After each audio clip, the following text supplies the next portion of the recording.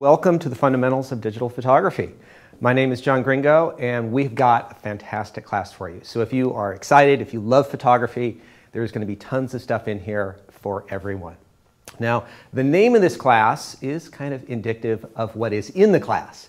And the idea is that you're going to be learning about the tools and the techniques that at least I think every photographer should know about. So whether you're shooting family pictures, or you're doing travel photography, or you're working in a studio. There's just a wide gamut of things that even though you don't use on a daily basis, it's good to have a nice broad knowledge of, of all of photography so that you can talk with a competent mind to your, to your customers and to your friends and everyone else. And so you can explore different types of photography as well. And this class is not labeled as a beginner class. If you are a beginner, this is like the perfect place to be um, because we're going to be going through all the basic things, shutter speeds, apertures, ISOs. But if you're a little bit more advanced, everyone has some experience and some you know, have a little bit more than others. And this class is going to have a little bit more in depth than I think most other classes have. And we're going to get into some more sophisticated uh, topics. Uh, we got some, some fun stuff planned in this class that, you know, for, for the beginners, it might go over their head a little bit at first. Um, and that's why it's sometimes helpful to watch this class maybe after six months of playing around with the camera. Watch it once and then learn, and then you come back, and when you view it again, you start picking up another layer of information. Uh, I, I teach this class, or at least versions of this class, on a regular basis.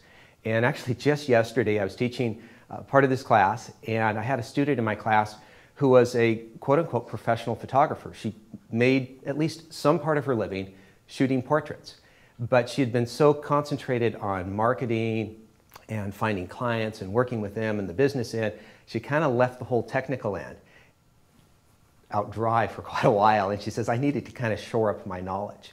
And she was just totally surprised at how much stuff she didn't know that she thought would be very helpful in what she does.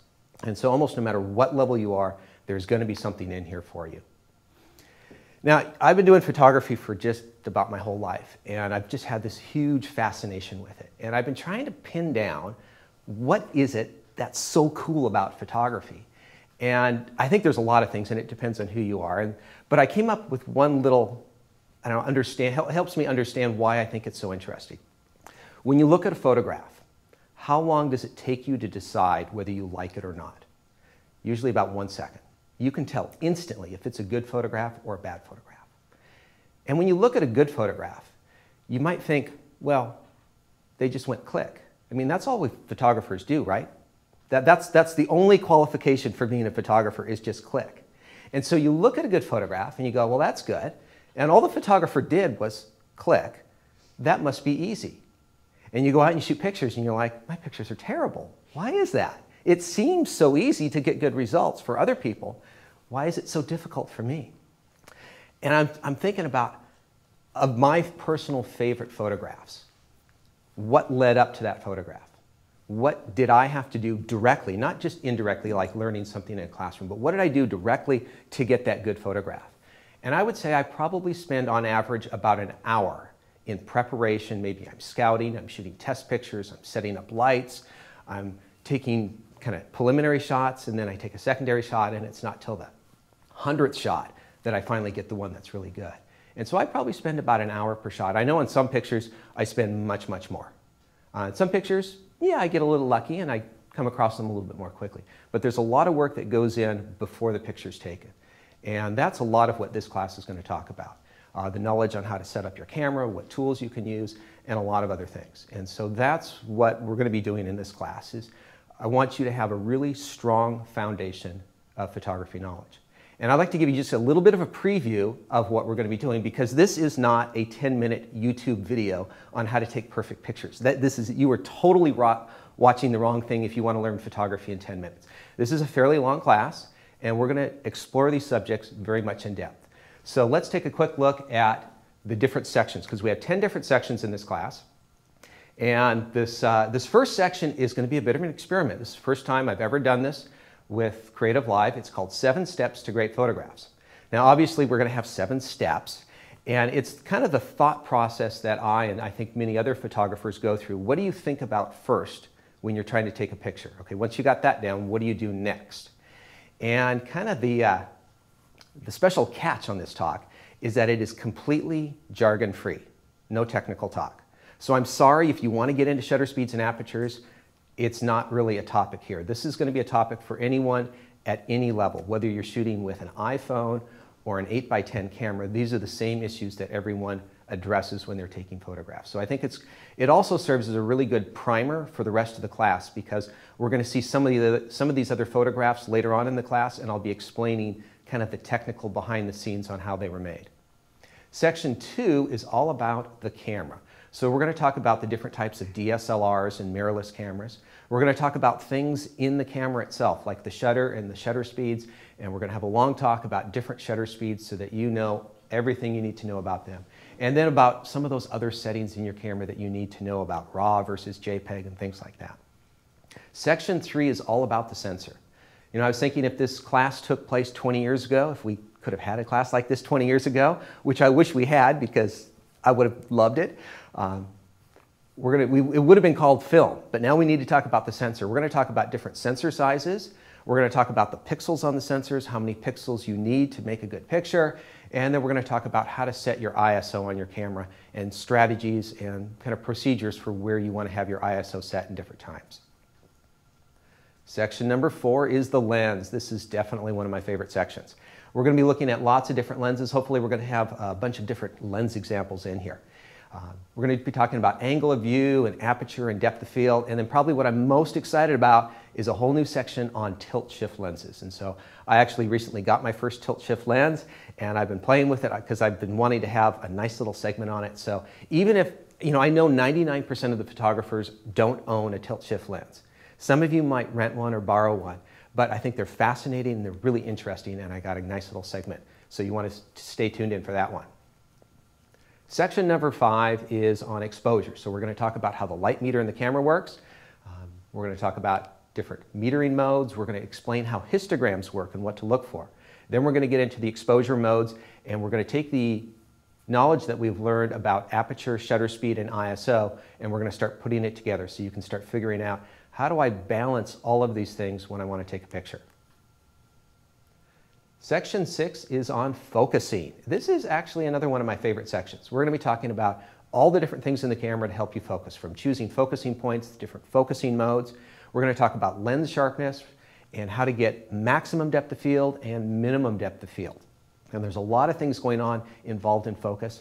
And focus is the one thing in your camera that you do out in the field that you absolutely have to get right. There is no computer software that is going to fix an out of focus picture. I mean, there's some things that make it just like 1% better, uh, but if you screw this up, up out in the field, there is no recovery other than going to reshoot it. And sometimes that's not possible. So you gotta have this nailed down.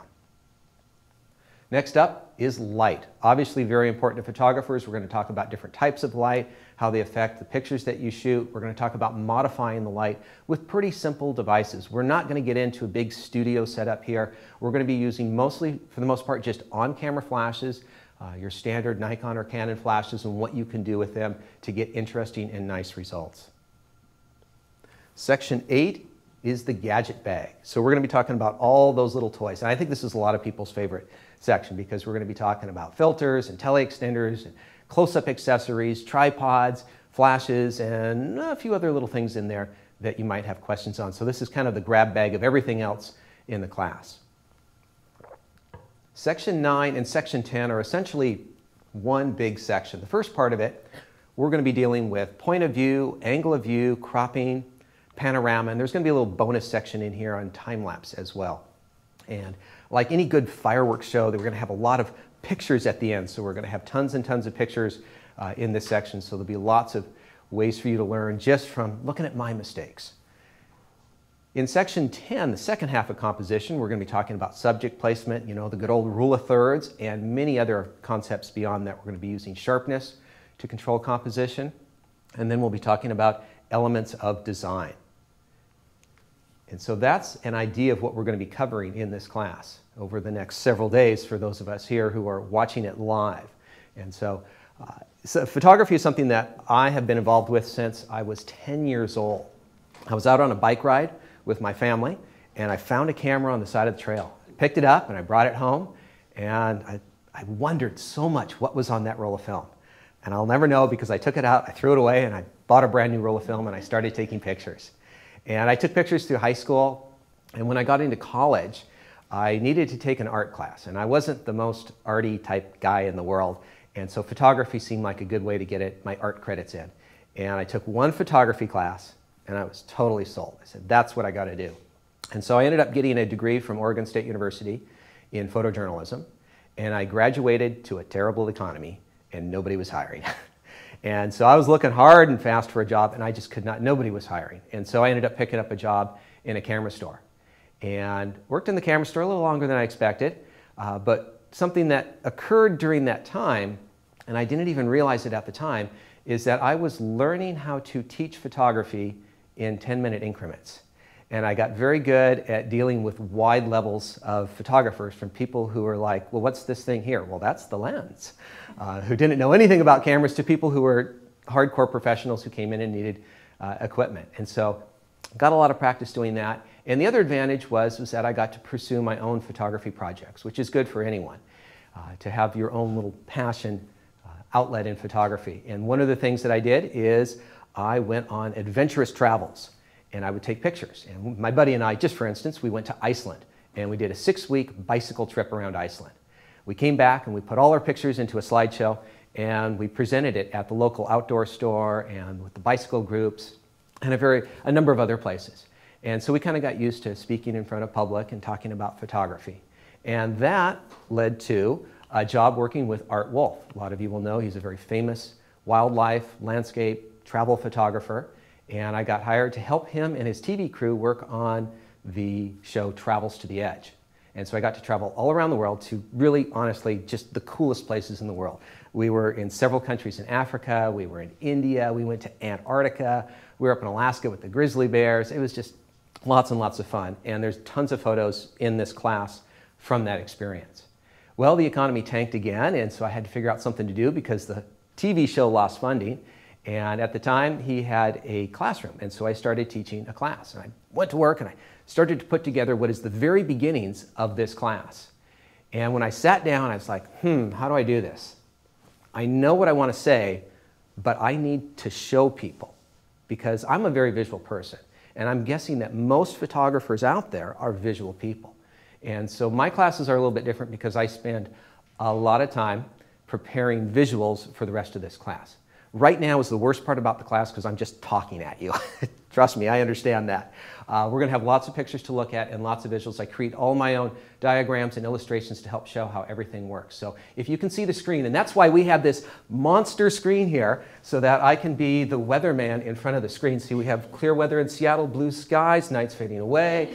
Uh, so we're going to have nice big pictures here. I think this is great to have. Thanks a lot for Creative Live for bringing in the big guns for this class.